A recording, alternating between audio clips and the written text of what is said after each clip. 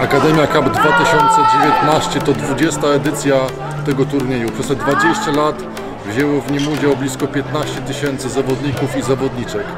Dziś to turniej numer 102 tego całego 20-letniego cyklu.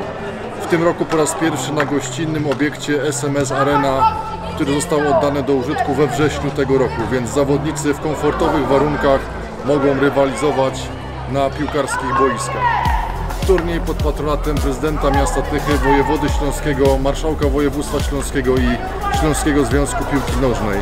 A cały cykl jest imienia Alfreda Potrawy, naszego honorowego byłego trenera, którego czcimy właśnie organizacją takiego turnieju.